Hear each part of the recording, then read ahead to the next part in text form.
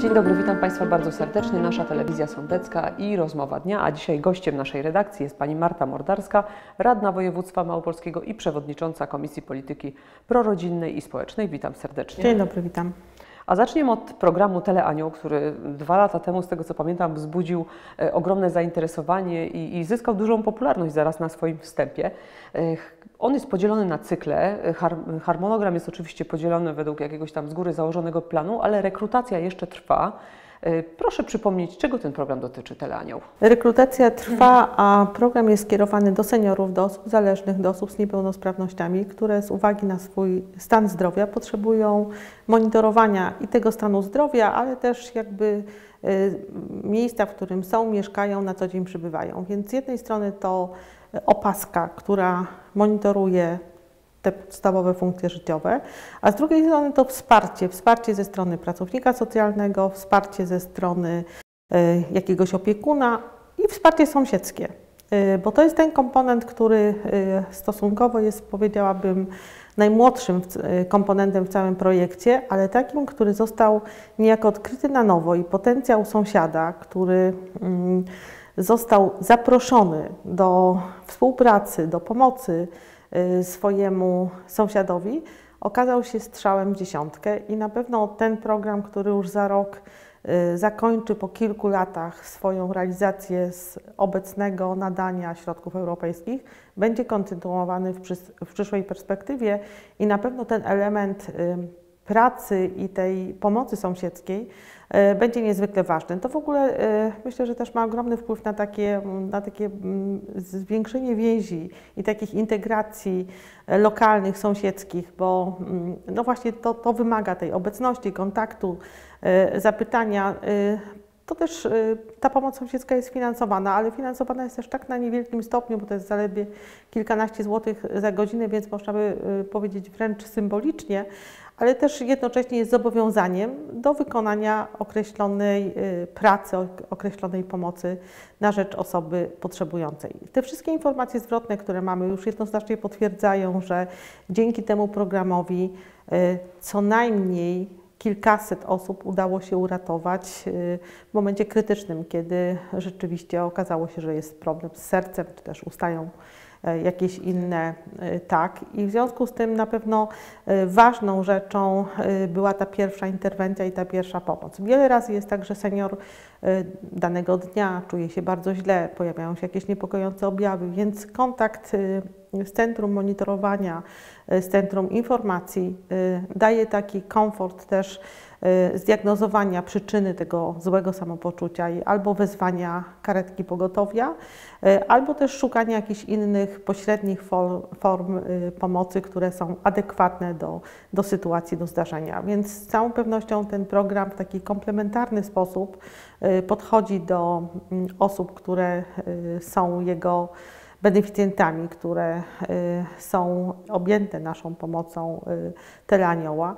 A- I y, jestem przekonana, że to jest program o ogromnej wartości, który na pewno będzie wzbogacany, bo tak jak telemedycyna przez te ostatnie lata w bardzo dynamiczny sposób się rozwija, więc y, na Zwłaszcza pewno Zwłaszcza w pandemii, ale też myślę, że rozwój e, wszystkich e, ośrodków badawczych, medycznych pokazuje, że tak naprawdę już dzisiaj za pomocą urządzeń różnych mobilnych coraz więcej funkcji życiowych, parametrów jest badanych, korelowanych, sprawdzanych, więc na pewno tutaj z jednej strony będziemy mogli coraz więcej właśnie tego rodzaju parametrów oglądać, mierzyć, porównywać, a z drugiej strony to, co jest ważne, więzi międzyludzkie, kontakt, relacja, rozmowa, zakupy, posprzątanie, y, wspólne pobycie razem, wspólne wypicie herbaty.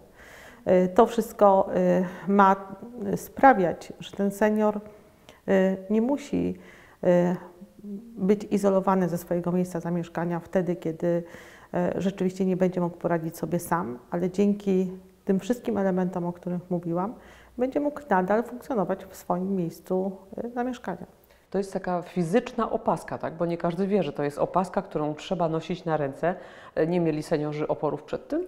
Y, No, czasami zdarzały się jakieś y, sytuacje y, takie, które sami seniorzy opowiadali potem gdzieś z uśmiechem, że zapomnieli i opaska wylądowała w pralce do prania albo w jakimś innym miejscu, ale to są oczywiście bardzo jakieś rzadkie sytuacje, natomiast bardzo szybko seniorzy przyzwyczajają się do tego, bo też buduje to ogromne poczucie bezpieczeństwa. Y, Ponieważ ten przycisk, y, który jest zamontowany, y, sprawia, że można bardzo szybko nawiązać kontakt wtedy, kiedy uznaje się, że trzeba szukać pomocy, ale też jednocześnie ten przycisk daje możliwość monitorowania przez służby, które do tego są odpowiednio przygotowane w projekcie do monitorowania stanu zdrowia pacjenta. W związku z tym konieczne jest noszenie tej opaski po to, żeby ten kontakt był y, cały czas i y, żeby tutaj utrzymać y, ten poziom relacji i przede wszystkim monitorowania stanu zdrowia i życia pacjenta. Drugi temat, który chciałabym poruszyć, to regionalny program rozwoju ekonomii społecznej. Y, Pewno zadam takie naiwne pytanie, co to takiego, chociaż mieliśmy już w poprzednich latach do czynienia z podobnymi programami. Y, Jest on w fazie konsultacji, będzie zatwierdzany przez Zarząd Województwa y, Małopolskiego, ale czego on dotyczy, z czym jest związany? Co to jest ta ekonomia społeczna? Może nie wszyscy pamiętają. W ogóle bardzo dziękuję za to pytanie, bo to jest myślę niezwykle ważne, co dopiero wczoraj na Komisji Polityki Społecznej pan profesor Duda, przewodniczący Sejmiku, który jest również członkiem y, komisji, której mam zaszczyt przewodniczyć, powiedział, że tak naprawdę z jego punktu widzenia, ale myślę, że to nie jest tylko jego opinia, jest to najważniejszy program dla województwa, y, bo to jest program, który tak naprawdę ma w istotny sposób y, dawać szansę na rynku pracy, ale też w takim codziennym życiu społecznym osobom ze specjalnymi potrzebami. E, I nie myślimy tutaj tylko i wyłącznie o osobach z niepełnosprawnościami. E, Myślimy tutaj o naprawdę bardzo szerokim wachlarzu osób, które z różnych przyczyn życiowych kryzysują, które z różnych powodów y, mają niższy status ekonomiczny, y, które nie mogą odnaleźć się na y, takim mocno aktywnym rynku pracy. A to pokazuje też, w jaki sposób myślimy w taki sposób całościowy, holistyczny o mieszkańcach Małopolski, o tym, jak bardzo ważne jest budowanie takiego zrównoważonego systemu i tworzenia podmiotów ekonomii społecznej, której jest miejsce na y, te podmioty reintegracji społecznej, które zajmą się osobami ze szczególnymi potrzebami, między innymi też y, dla osób z niepełnosprawnościami. Żeby odwołać się do jakiegoś konkretu, y, to dzisiaj jednym z bardzo ważnych elementów, które od kilku lat na szczęście się zmienia, ale wprost, ale ciągle jeszcze dynamika tego procesu nie jest wystarczająca, to zatrudnianie osób z niepełnosprawnością. No właśnie, przepraszam, że wejdę w słowo tutaj. Z danych wynika, że 87% y, mieszkańców Małopolski, osób niepełnosprawnych, to są osoby bierne zawodowo. Tak, i to jest rzeczywiście y, bardzo duże wyzwanie. To zresztą nie jesteśmy tutaj odosobnieni od innych regionów Polski. Nawet bym powiedziała, że na tle innych regionów Polski, y, na tle innych wypadamy całkiem nieźle. Y, Natomiast na pewno jest jeszcze bardzo dużo do zrobienia. No zawsze I- była taka informacja, płynęła chyba zewsząd, ze wszystkich środowisk, które zajmowały się osobami, osobami niepełnosprawnymi, że e, dopóki e, ta osoba niepełnosprawna jest w wieku bądź dziecięcym, bądź e, jest to młodzież, bądź jakoś, jakaś wczesna dorosłość, to jest, mówiąc e, najogólniej, zaopiekowana. Bo są różnego rodzaju WTZ-y, ośrodki dziennego pobytu itd., itd. Natomiast pójdzie, później jest taka nisza. E, Te osoby rzadko kiedy trafiają e, na rynek pracy, one nie podejmują zatrudnienia, bo- nie mają takiej możliwości. Tak, nawet jeżeli są w terapii zajęciowej, bo y, skrótowo mówimy o WTZ-ach, to one również powinny dla znakomitej części tych swoich podopiecznych być jakąś formą przejściową do kolejnego Etapu. etapu y, życia y, takiego społecznego, a tak się nie dzieje, więc y, też jakby ten program ekonomii społecznej ma to zmienić poprzez inicjowanie i wspieranie różnego rodzaju działań. Tak jak ma to miejsce bardzo intensywnie we Włoszech, w Austrii, w krajach skandynawskich, gdzie rzeczywiście są tworzone firmy społeczne, które właśnie dają szansę znalezienia się na rynku pracy osobom, które nie potrafią sobie w taki biegły sposób e, radzić na tym rynku regularnym.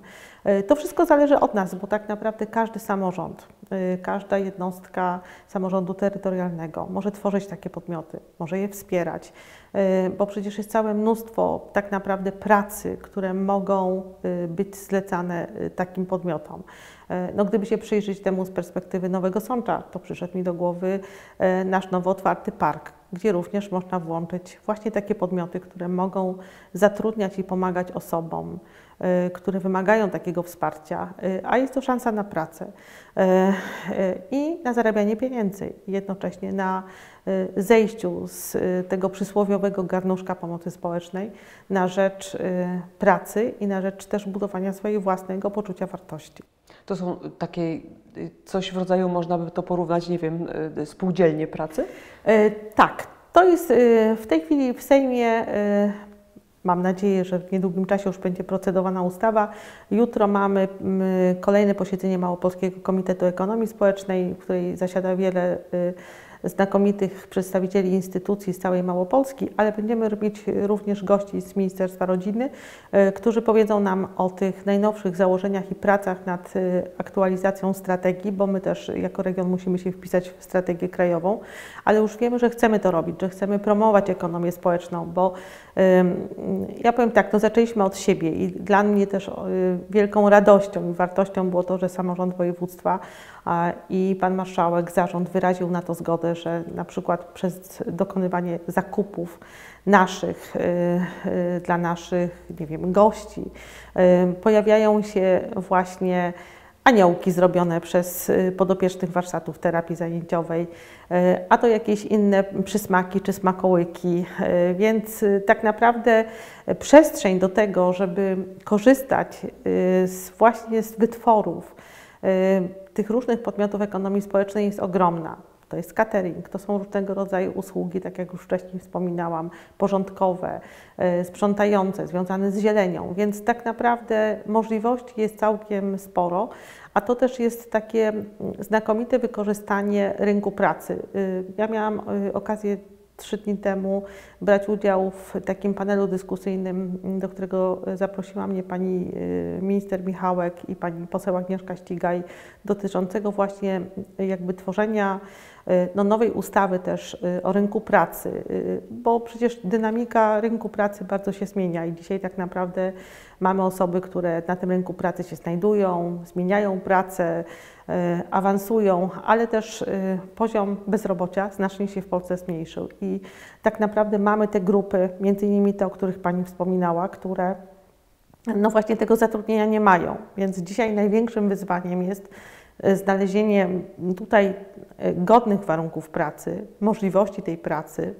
i połączenie tego z wejściem na ten rynek pracy powszechny. I to myślę, że to jest wielkie wyzwanie i wielkie zadanie y, też takiego zbudowania właściwych korelacji międzyinstytucjonalnych pomiędzy rządem a samorządem, pomiędzy właściwymi zapisami w ustawach, y, pomiędzy dobrymi i mądrymi zapisami, które będą później generować nowe, dobre programy europejskie, które już y, za chwilę będą przejawiały się w kolejnych konkursach. Więc y, chodzi o to, żeby przygotować w sposób naprawdę dobry i przemyślany założenia pod to, jak ma się kształtować ten przyszły rynek pracy, jaki w tym przyszłym rynku pracy ma mieć ekonomia społeczna, czyli ta część, która jest poświęcona nie kształtowaniu zysków, ale przeznaczania tego zysku na cele społeczne. Tutaj w tym programie ekonomii społecznej dosyć taki szeroki, szerokie spektrum działania, taki szeroki wachlarz wszelakich aktywności, bo jest mowa i o szkoleniach dla kadry, i o działaniach wspierających, i o działaniach promocyjnych, i o y, działaniach niejako reklamujących markę samą, ale też jest y, szeroki wachlarz y, usług, z których mogą skorzystać samorządy, szerokie wsparcie dla samorządów. Tak, i jest też bardzo ważny element dla mnie osobiście takiej właśnie promocji i edukacji, czyli przyzwyczajenia już najmłodszych naszych y, Małopolan, bo program jest nasz Małopolski, właśnie do tej przestrzeni ekonomii społecznej, jaką jest spółdzielczość szkolna, tak? tworzenie różnych form pracy, takiej właśnie y, społecznej, która y, będzie ich uczyła też dobrych podstaw takiej ekonomii społecznej, y, bo y, to również y, może być miejsce pracy dla bardzo wielu ludzi. Nie tylko tych, którzy potrzebują wsparcia, ale też tych, którzy są menedżerami, mogą takimi firmami zarządzać, mogą zdobywać środki finansowe, bo no, największym jakby sukcesem tych podmiotów ekonomii społecznej jest ich zafunkcjonowanie na otwartym rynku i sprzedaż swoich usług. To jest wielka radość. Ja nie tak dawno byłam y, w Kluczach i miałam okazję y, spotkać się z, ze spółdzielnią, z pracownikami spółdzielni, y, którzy zostali naszymi laureatami. Byli pierwszą spółdzielnią socjalną założoną w Małopolsce wiele, wiele, wiele lat temu.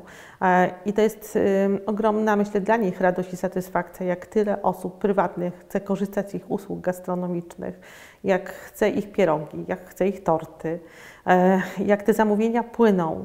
E, I mm, pomimo tego trudnego czasu pandemii nie musieli nikogo zwolnić z pracy, choć było to wyzwanie, bo oczywiście, że ten rynek też przeżywał swoje kryzysy i załamania. Ale to jest ważne, żeby wypracować tam też taki model pracy, który będzie dawał godziwe zarobki, satysfakcję, radość, ale też uznanie e, na tym rynku klientów. I myślę, że to jest e, połączenie e, jeszcze w duchu właśnie myślenia takiego prospołecznego o tym, jaką wartością jest praca, jakie też daje wymierne korzyści, zarówno te, które są po stronie zarabiającego, ale też całej społeczności lokalnej.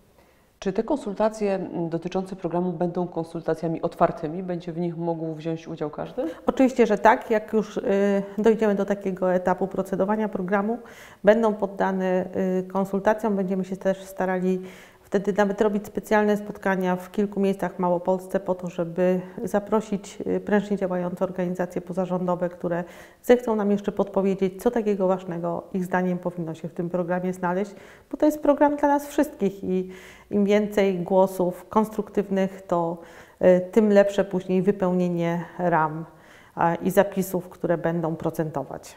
To znaczy, tak sobie myślę, że czasy pewno mm, po pandemii, po tym kryzysie, czy, czy kryzys mamy może w trakcie, y, będą trudne, tak? bo pewno duża Są część, trudne. tak, i duża część osób y, będzie bezrobotnych i, i pewno firmy też y, będą się likwidować. Oby tak nie było, ale, ale prognozy są też takie, ale z drugiej strony sobie myślę, że też e, pewne możliwości daje rynek, ponieważ chętnie odchodzimy od kupowania, kupowania takich e, masowych produktów, takich jednakowych, e, których każdy ma. Gdzieś wracamy do, chętnie do takiego rękodzieła, do produktów wyprodukowanych ręcznie, niekoniecznie masowo i niekoniecznie na wielkich liniach produkcyjnych, więc może jakieś sklepy socjalne, nie mam tu na myśli oczywiście takich sklepów, w których można kupić taniej produkty, ale sklepy prowadzone właśnie właśnie przez y, takie centra mm, y, społeczne, centra ekonomii społecznej, gdzie będzie można kupić różnego rodzaju przedmioty użytkowe, przedmioty do domu, do ogrodu itd. Tak itd. Tak, tak, myślę, że to jest znakomity pomysł i tak naprawdę wiele już jest dzisiaj takich przykładów, które mogą być znacznie